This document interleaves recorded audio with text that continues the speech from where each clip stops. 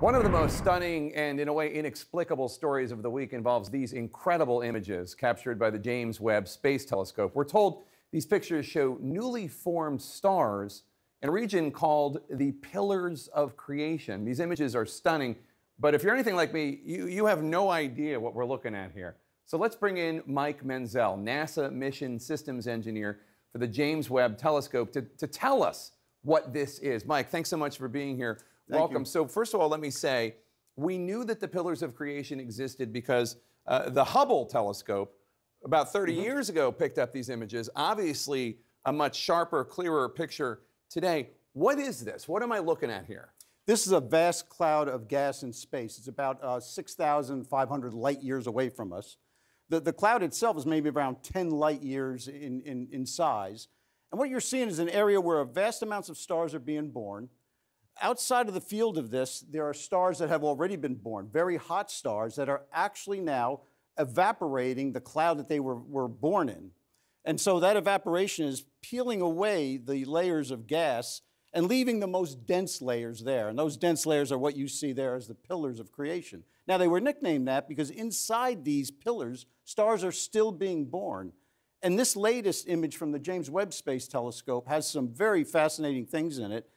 The red areas that the astronomers have described as looking, as looking like lava are actually new stars that have just been born, and they're actually spewing out gas in what we call jets. And that, that's what you're seeing here. You didn't see those on the Hubble image Yeah. because the infrared wavelengths that James Webb is looking at were not detected by the, uh, by the Hubble Space Telescope. It's incredible. And I know uh, you're particularly interested in, in this. It's called the deep field. This is inside the pillars of creation? No, this, This is, is a- separate. This is an entirely different area. And what is this? Now we're looking outside of our galaxy. The pillars of creation are inside our Milky Way, our, our vast city of stars in the universe. This looks at other uh, galaxies in our, in our universe, and it's, uh, it's a cluster of galaxies right here in the center that's about 4 billion light years away from us. Wait, which ones are galaxies? Oh, Well, just about every dot you see in here is a galaxy. Every dot here Every a dot. galaxy? So Every- the Milky Way galaxy is one galaxy, and every dot one right. is a different galaxy. And each galaxy has about 100 billion to about 300 billion stars in it. So you're looking at cities of about three, you know, hundreds of billions of stars. This particular area here is a big, big cluster of galaxies. yeah. And behind it, and well, this cluster of galaxies is very, very massive. And light from galaxies much farther away from that is passing through its gravity field and actually bending to form these arcs. Those arcs are distorted views of galaxies much farther away. You mean like like this arc, kind of like that? That's Is that- correct. or like this one here? That's correct. Okay. That's called gravitational lensing. And it's actually a dramatic, uh, a dramatic proof of what Albert Einstein said. Gravity is space that's bent. Light travels through space, and as it travels through space, it bends too. So the gravity of these galaxies are distorting the images of galaxies much, much farther away. But the thing I really love about this image, Yeah. I I can tell you, when my wife first saw it, she looked at me and she said, It looks like Hubble. and, and the truth is, it does. Yeah. It does look like Hubble. The Hubble picture that looks like this took 14 days. James Webb did that in 12 hours. 12 hours. Incredible. And tell us about Stephan's Quintet. Is this also outside of the Milky Way galaxy? It is, this is a, this is a group of five galaxies, four of them which are interacting. One, about, two, three, four? or- Well, there's one, two, three, four, five. There's actually five galaxies in Okay. That's why it's called a quintet. This guy over here it just happens to be in a line of sight. He's not involved with the other four. oh, okay. The other four galaxies are actually merging together and their gravities are interacting with, with each other. And as their gravities interact, uh, you get places where they kind of uh, compact or, or make shock waves that uh, uh, compact the gas. And when you compact the gas, you start forming new stars in uh, places we call star birth.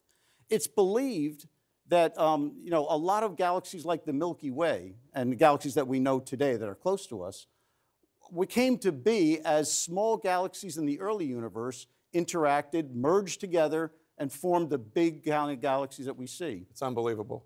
Now, this is, the, these are called the cosmic cliffs. This is also outside the Milky Way galaxy? No, this is within our This Milky is inside, Way. okay. This And, and what is this? Well, this is an area much like the Pillars of Creation. In fact, The, the physics of this is very similar to the, the pillars of creation. Stars have been born and are being born in this cloud. The stars outside the field are evaporating the clouds. And you can almost see a pillar of creation starting here. That's a dense part that's evaporating slower than the rest. Stars are being born in, this, in these cosmic cliffs as we speak. And all these dots are stars? They're stars. And this one is about 7,000 light years away. It's in our own Milky Way galaxy. If I go back to the Pillars of Creation, do we know where this is in the Pillars of Creation, or is it not in no, no, it's a separate cloud. It's a separate cloud. It's not part of the. Pillars Correct. of Okay. Now, this is interesting. This is the rings of Neptune. Now, we always knew, even when I was a little boy, we always knew Neptune had rings. So, what's the significance of this? Well, I don't, I'm not sure you knew as a little boy that No? Neptune had rings. or maybe I. Astronomers in the early, uh, in the 1800s. oh, no, I'm sorry. I'm, think, I'm thinking of think of Saturn. Saturn. I'm thinking of and Saturn. That's why I love apologize. this, that's why I love this picture so Okay. much. Astronomers in the 1800s suspected Neptune might have had a ring. Astronomers suspected it, but it wasn't confirmed until Voyager 2 imaged it. Imaged it. But the rings were very pathetic. They're very dark and very thin, and they're not much to talk about Right. in the visible light. But when I saw this image, it struck me. I had a, a very visceral reaction to this because it looks like Saturn. And Yeah, it shows in the That's why I was confused. it is. In the infrared wavelengths, these rings of Neptune, which we knew were there since Voyager 2, now stand out beautifully. I mean, I, I was standing next to a planetary astronomer when we first saw it, and we, we both had just visceral reactions to this. Like, look at that. Oh my God, look at that. What are rings? They're, they're dust. They're dust that's orbiting the planet. There are two theories of them. Um, one, you, people used to think that maybe, um, in the case of Saturn, which we still think, uh, the rings were a moon that might have got too uh, too close and got destroyed. Another another theory is that hey, these are places where a moon might have tried to form, but just never got never finished the job. So these are rings of, uh, of you know billions and billions of dust particles.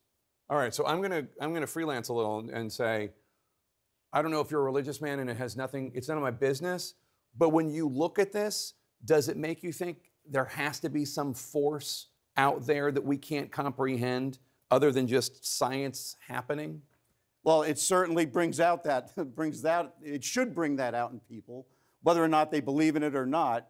You know, to, to watch the forces of the universe actually act to, to create stars has to give you some kind of reaction. And it also makes me think that it is the height of arrogance to think that we are the only life anywhere in this vast complex of so many galaxies. I wouldn't disagree with you.